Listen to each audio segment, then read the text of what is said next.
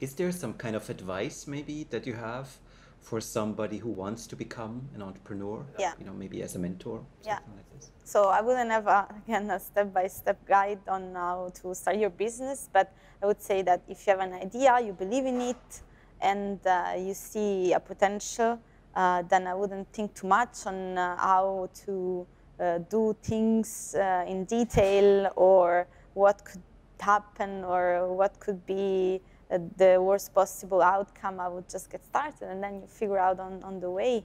Uh, I mean, you you learn you can learn many things faster than than you believe, and uh, I mean you will then uh, overcome challenges when they uh, when they're presented, when they materialize.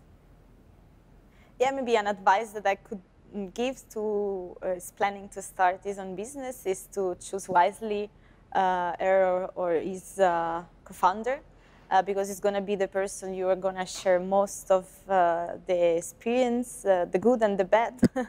and uh, it's important that you are um, always aligned and you have a similar thinking.